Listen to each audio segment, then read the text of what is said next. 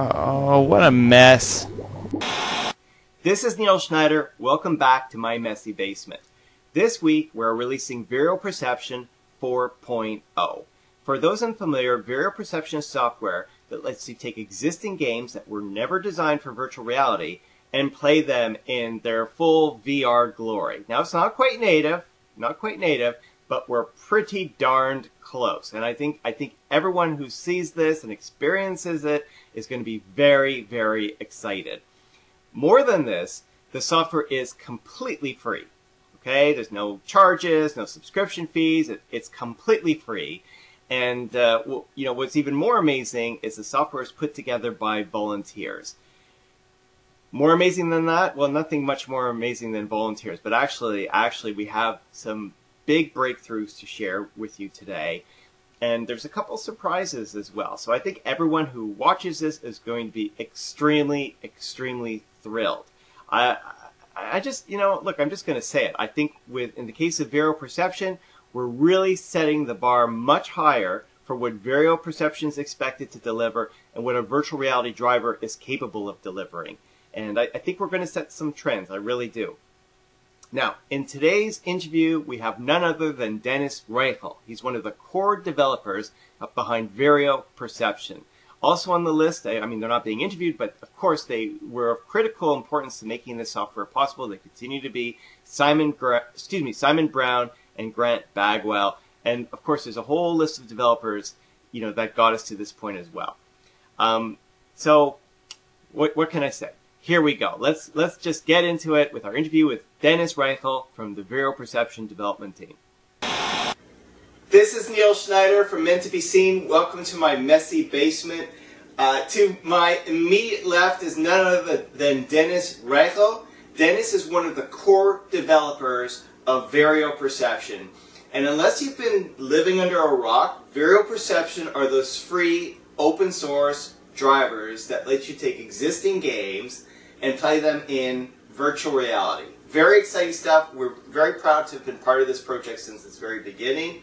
Denis, thank you so much for joining us. I am personally really excited about this because with the developers of Vireio, we always talk to each other in Skype, but we don't actually talk to each other like with audio and video. So this is the first time I'm meeting you, Denis.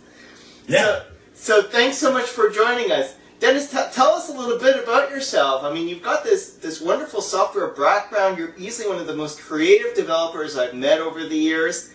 Thank How, how, did you learn, you know, to code? I coded since I'm, I'm, I'm about 12, I think, uh, on my C uh, 64, the first time in BASIC, and, and, and I never stopped it. And uh, with about 20, I, I started the first DirectX version and, and C++, and yes. Well, amazing work because you know similar to the other developers with Vireio, you're so inventive. Like you come up with all kinds of ideas and technologies that pe- people hadn't even considered, and it just it just goes to show in Vireio we're so proud to have you you know in, in, involved with the, the the project. So why don't we talk a little bit about Vireio?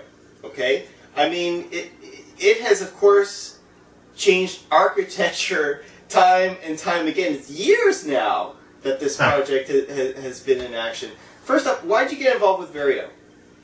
Ah, I got my first uh, uh, Oculus Dev Kit 1 in 2013, and then, yeah, any one of us wanted to play Skyrim in VR, and, and Andres did uh, put uh, Vireio on open source, and then I watched the, the code and tried it, and, and first uh, I did code an own plugin for Skyrim, uh, uh, to inject it with it as a DLL into the game, and it worked fine. And then I read your, you did put some some some message. Uh, we really need more help, and, and then I contacted you. Yeah. So, so just for those unfamiliar, uh, Vireio Perception is open source. So the idea is that we invite other developers to participate.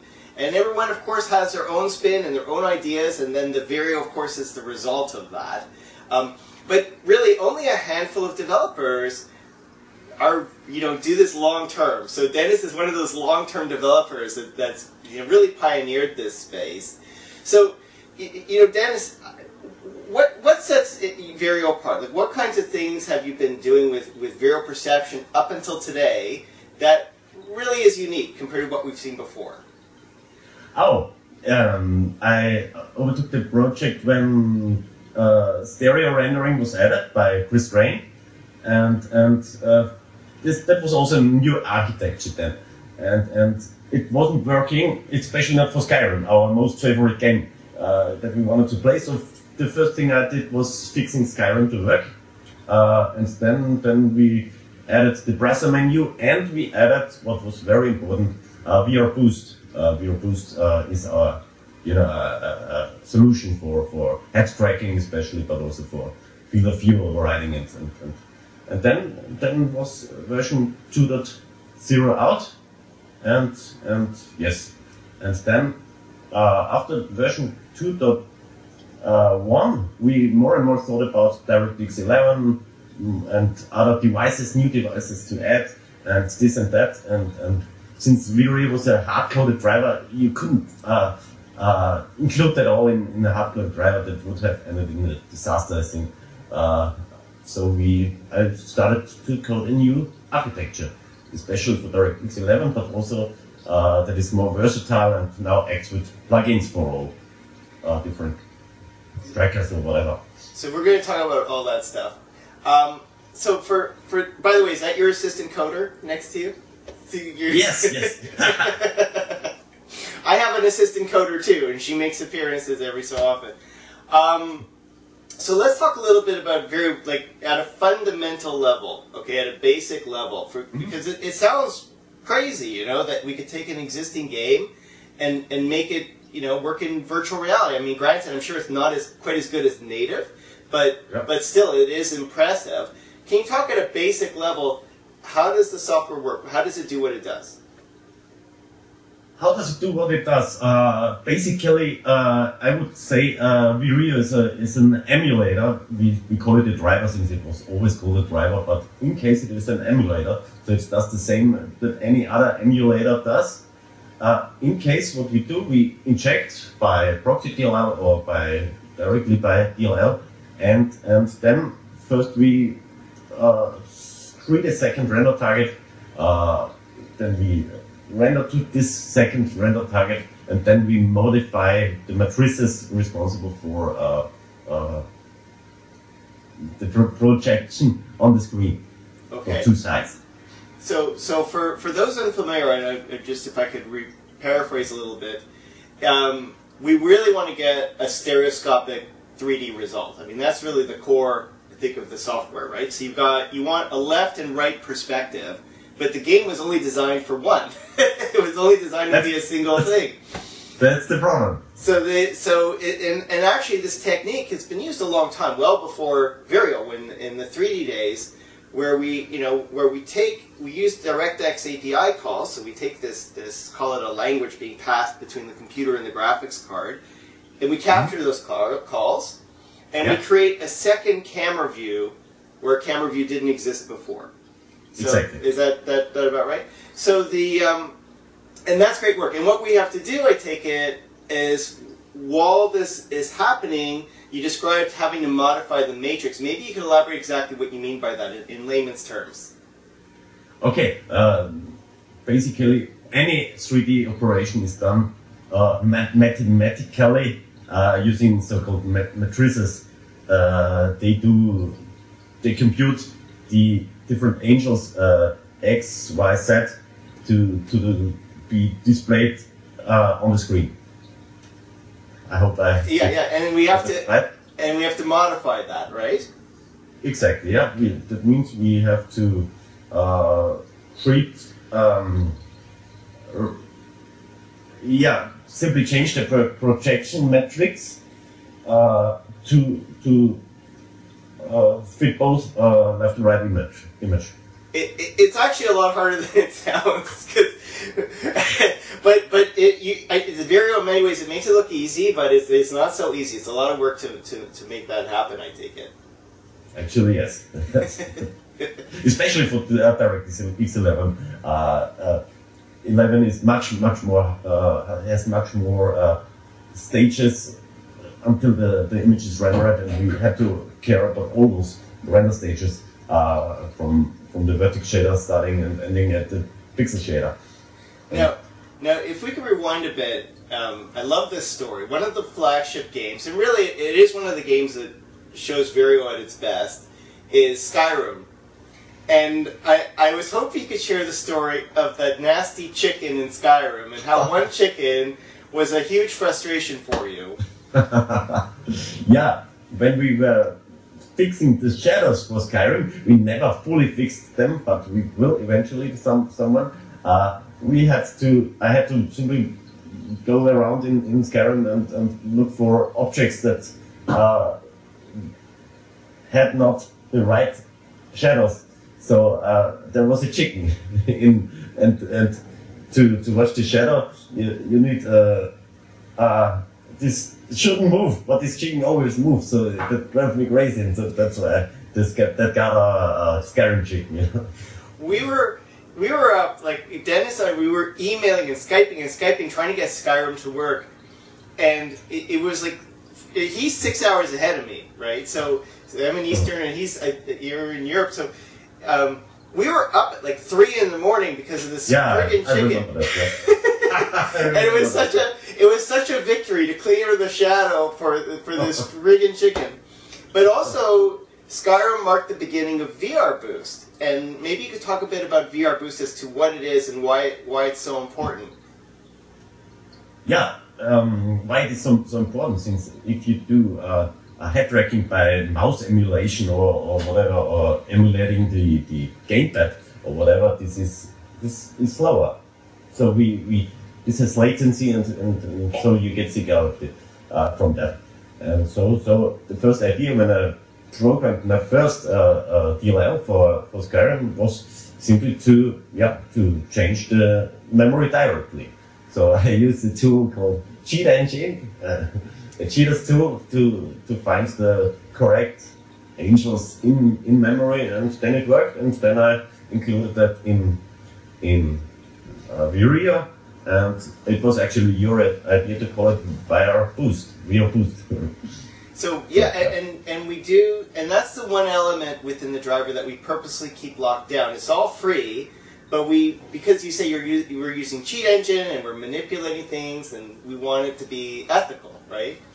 But uh, and we want to make sure that the work's used appropriately.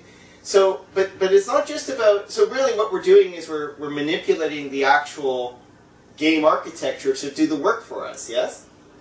exactly, yeah. Yeah. So, so what other what other things can we do with this VR boost? I mean, so we've got we've got the head tracking. I mean, what what other things have you been able to do uh, because of this technology?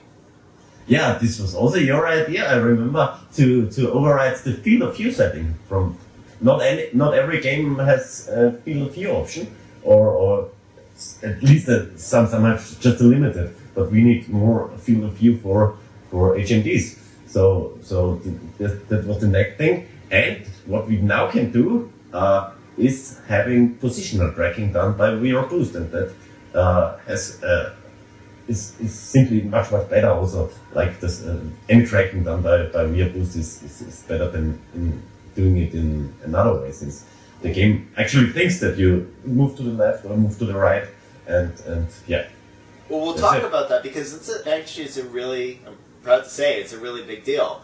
Um, so okay, so we've been working with DirectX 9 previously. We kind of touched on DX10 for a while, but I don't think we really did much with it. Uh, No. you, you didn't really do much with it. Um, DirectX 11. Okay, it everyone's been waiting. We've been promising DX11 forever. and, I mean, these poor gamers. I mean, we show pictures of Bioshock, and and it's like, okay, when's it happening? When's it happening? yeah Anyway, I, I- I think I've got kids now since since we started talking about this. But anyway, um, what you know, why is DX11 so hard? Like, what you know, what makes that architecture unique compared to DX9? as I mentioned before we have all those different shaders starting with the vertex shader the geometry shader the tessellation shaders uh, the compute shader I didn't even think that we had to include that and and also eventually the, the pixel shader uh, we had to care about all this. Any any buffer called uh, any if you set a constant buffer to this shader, that shader, that shader, we have to care about this, and then we have performance issues. Multi-threading comes with DirectX 11 also. That means the device can be mustn't be uh, or should can be uh, multi-threaded uh, uh, and and that all we had not in DirectX 9 and we had to care about this and especially about the performance also and that was why it is took so long yeah We are, you know, we are really lucky because do you remember when you first shared, like it was videos, we were talking about performance and optimizing, and we were really concerned because the first time you did this, when we were rendering with Vireio Perception, it was like a 30% of the 2D performance. Do you remember that? Like it was, Uh, and you were like, okay, well this is, we're stuck with it, and then, but, but fortunately something else happened. Maybe you could, you could release, you know, so that the gamers can relax. What kind of performance are we getting out of it? Oh about 60% I think 60% we have a video online that shows that we lose about 30 uh, 35 percent That's Um, actually, I, I, would- I was, I, I thought it would be more, but that's actually really good because you're rendering Yeah. to a left-right view and you're only losing between 30 40% on the render. Yeah, yeah, no. The the That's- bigger problem problem with, with performance now is with open open world games. Open world games always always uh, recreate the or load new things when you walk, walk around. So you get uh, in open world games some some some lag uh, when you enter a new place or, or, or just just walk around since the game loads. We, we will see how to fix that. This is uh, absolutely fixable by maybe by co- uh, installing the game on an S- SSD or, or so. But eventually the, the, the frame rate is fine. Yeah.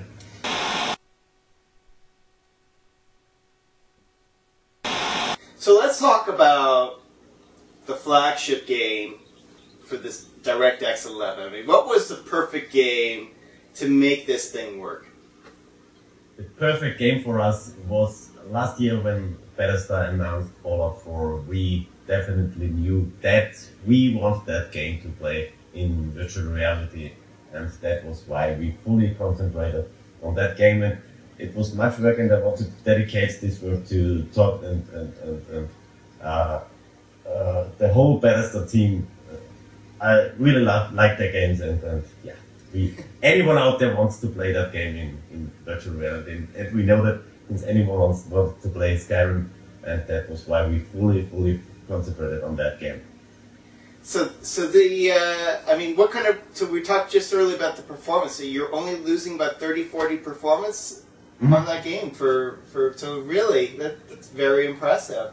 So what, what, um, what have you been able to do with it? What kind of modifications have you been able to do with, with Fallout 4 to make it work? Actually, actually, let me rephrase the question. What challenges did you have to make Fallout 4 work in VR?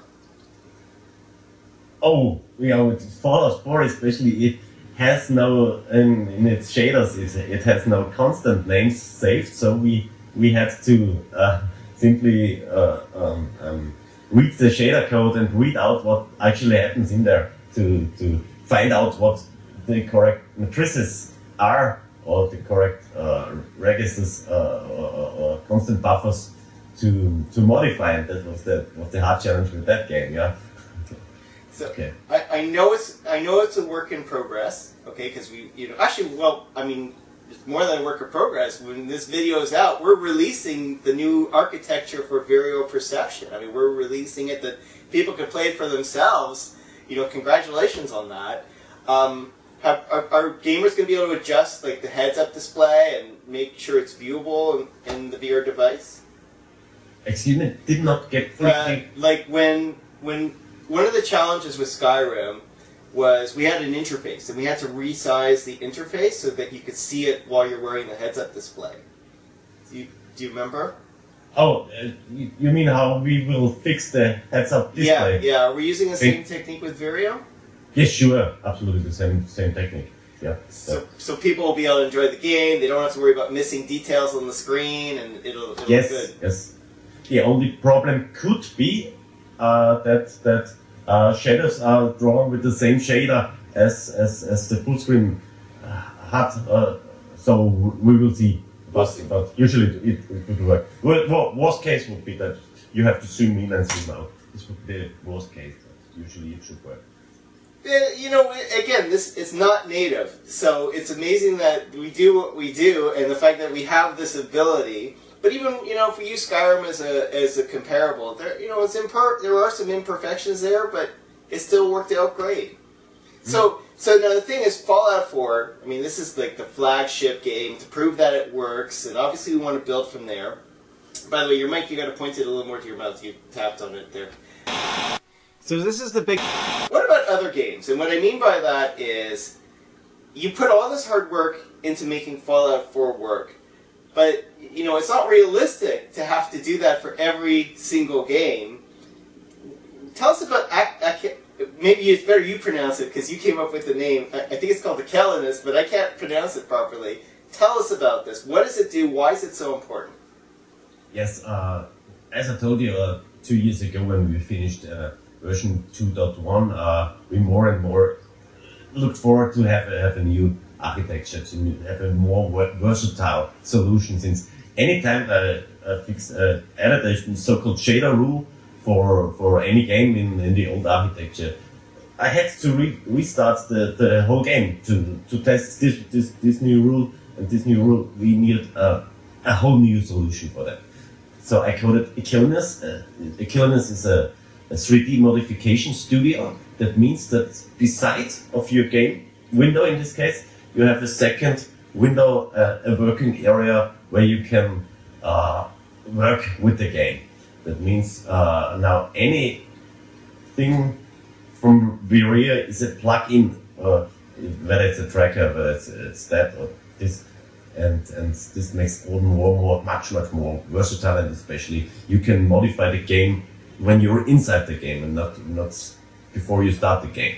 That that makes much more sense. You can Aquilinus is a is a general tool for modifying DirectX and you can use it for, for any kind of modification and, and and this will also be out soon and I will do good tutorials for for people how to use it and, and eventually anyone out there with a little uh, knowledge about how games work should be able to to create uh, to make his his favorite game compatible to to Vireio and to virtual reality. And this is, you know, like I'll give you some real life problems that we faced, and I know we haven't solved them yet, but I'm wondering if this could be a potential solution, like Skyrim. Okay, Mhm. do you remember we had a problem where certain shaders were completely shared, like like like the fog and the shadow were Yeah, one and yeah, the same? yeah. Would this have been able to get around that problem?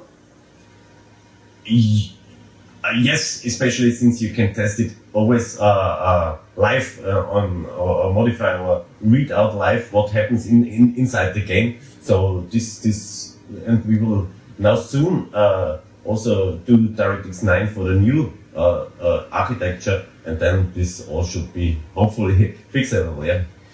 It's a it's we we determine as we go. You know, it's not nothing's finalized yet. We're still we're still working on it. But but these are the things that you know Denis and the team have been working on. So um so that's great. And what about you know for for gamers? Do you think it's going to be complicated for them to create their own profiles with their Aquilinus? Like, is it you know do you do you have to be like a significant coding knowledge or or can you pick it No, up pretty in quick? this case, yeah, uh, you need to get the basics of DirectX. This this is clear. But eventually, when you know these basics and how on, and, uh, I will try as a, as a as I mentioned to give good tutorials. No, it should it shouldn't be hard, and you should be able to simply uh, load the, the predefined uh, Vireio profile into the game and, and then try to fix them, the, the, find the matrices and and the hard thing will be maybe VR Boost, but also here we will the, have a an own VR Boost scanner node eventually, and, and yes, this this should work with, with an It's- if, if you have a little.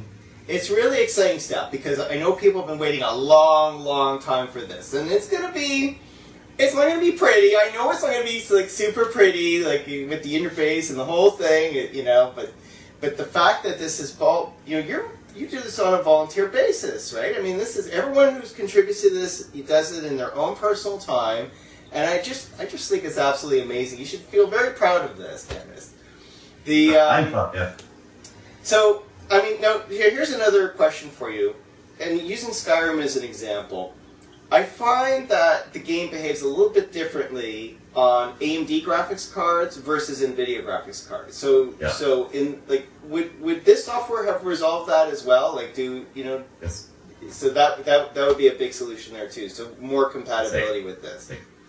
yeah, the first step after after uh, we now release version 4.0 will be to add DirectX 9, and then I will definitely fix this uh, issue for AMD cards. Yes. Okay, wonderful. So, um, next question. So now we're obviously we're building a profile system so people could create their own profiles with very deep access to the games. Mhm. We've got DirectX 11 support, which I think is amazing. Everyone who's seen the you know the videos is impressed with what they see, and this is true stereoscopic 3D. Like this is true left-right rendering. Doesn't get No, more 3D no fake, no, no fake technique, no fake technique. No. And you know I've insisted. I've driven the developers crazy. I said, "No, we're not doing that. it's got to be the real stuff." but um, so that's great. So then, um, what about asynchronous time warp and like ATW? Uh, and uh, are we we're going to have those features again? Do you think? Yes, sure. We, we will definitely include that. Uh, Oculus should has it now, and and OSVR will hopefully that have that all soon. Uh, yes, yes, sure. We should be able to include that. Yeah.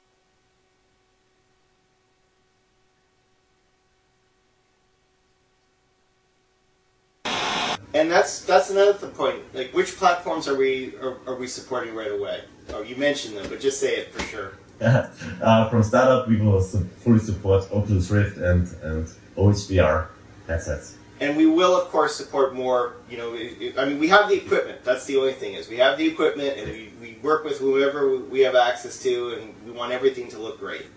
And that's amazing stuff.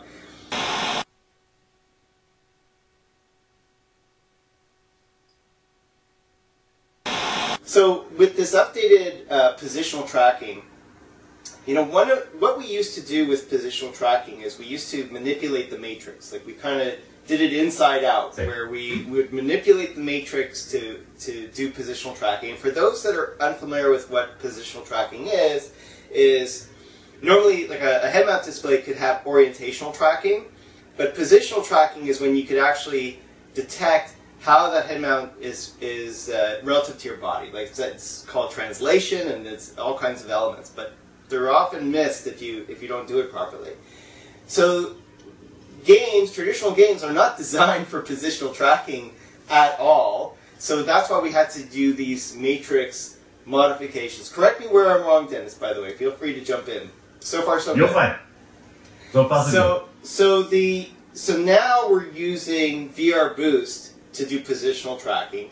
Can you talk about you know why that's important? Like, what's the advantage of having the game do the work for us?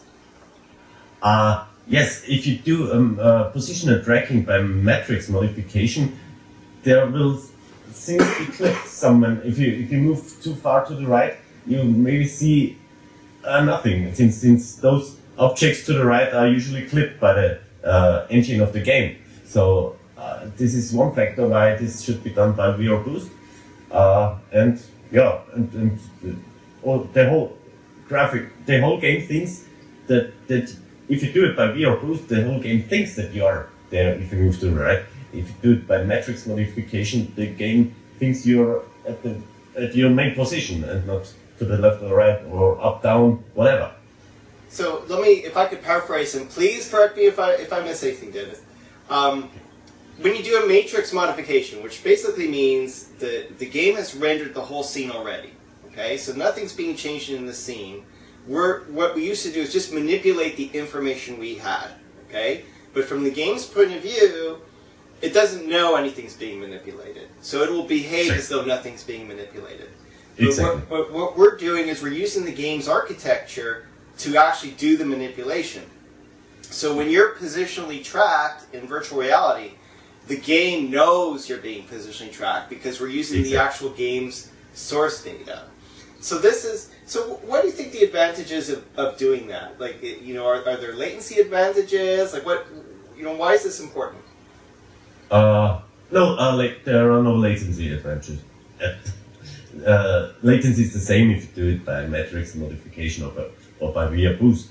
Uh, but as I mentioned, uh, things get flipped Flipped. or or or yeah, But This actually ties in why we used it for field of view because, you know, one of the challenges with games is that they want to save on performance. So they only want to render the amount of data they need because if you render beyond the screen edges, that's wasted. That's wasted processing. yeah, So what we do is with field of view is we the game increases the field of view. We force the game to increase the field of view. exactly. So it includes all that extra data. so with positional tracking, I take it, where it's a similar idea, where by using the game's architecture, the game knows not to like cut off data or, or it knows to show all the graphics that need to be Yeah. shown. and and- what the excuse me, Yeah, go ahead. Uh, what the bad thing will be uh, with with uh, positional tracking done by by VR Boost is that uh, you know now now come the uh, wireless HMDs. Uh, Optoma has a great prototype for this, and uh, eventually with, with those, uh, you you will be able to move around in, in, in the game as, as in as in the r- real world. Yeah. So we're and you've done some preliminary testing with this to make sure Yes, to make sure it works. But it, it's very exciting. We're looking forward to doing more experiments in that area as soon as we have the equipment in hand. But it's it's this is really radical stuff. Like this is amazing stuff. Okay, I've been dropping hints on this through the show, but let me be absolutely clear. When we add HTC Vive support, and we will, we're also going to be adding room scale support for the HTC Vive. That means you could take your existing games like Fallout 4, that's a working example, in true stereoscopic 3D, and you're going to have walk around positional tracking with the HTC Vive and any other SDK we support. So it's really exciting stuff. It's the real deal, and uh, this is trend-setting stuff. Anyway, back to the interview. I mean, it, it's it's not going to be perfect, okay, but it, it's going to be like it raises a lot of like positive big questions as to what we could do with these older gaming libraries if there are some titles out there that you know could really be excellent in VR. It's not going to work for everything, I don't think, but but there's probably going to be some flagship titles that lend themselves well to a technology like this. Mm-hmm. So really exciting stuff. So when this video is out, if all goes to plan, so will the first release of this updated Vireio Perception. I don't know how pretty it's going to be. I, it will work, but we don't know how pretty it's going to be, like interface and so on. So you're going to have to bear with us. But you're you're really, I really think everyone, I, I think you'll agree with me, Denis. I think everyone's going to be really impressed with the potential that comes out of this. Um, well, that's wonderful stuff, Denis. Anyway, congratulations on all this really exciting stuff. So, so um, did we forget anything? I think I think we, you're going to share some videos. You've got some videos that you're going to put out of Fallout 4, and you're going to do some regular updates in the in the Vireio channel. And uh, I think really people should just download it, try it out, and uh, we'll just make it better. So thank thanks so much for joining us, Denis. Proud to be there. so thanks for joining us. We'll be back right after this. Well, there you have it.